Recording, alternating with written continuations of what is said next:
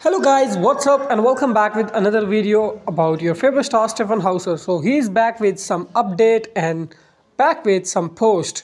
From past few weeks, he does not upload any kind of post on his social media account and never share a story. But finally, yesterday he has upload post and story as well.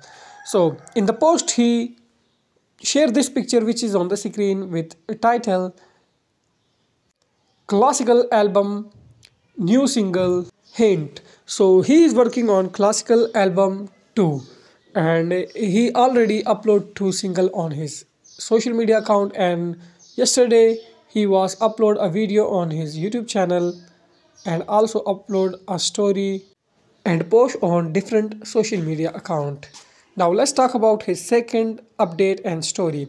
He uploaded this on his Instagram account story. Australia and New Zealand tour is soon. So he says see you soon in Australia and New Zealand. So that is the recent and latest development by Stjepan Hauser. Don't forget to subscribe my channel, like this video and share this video with your friends. See you soon. Bye bye.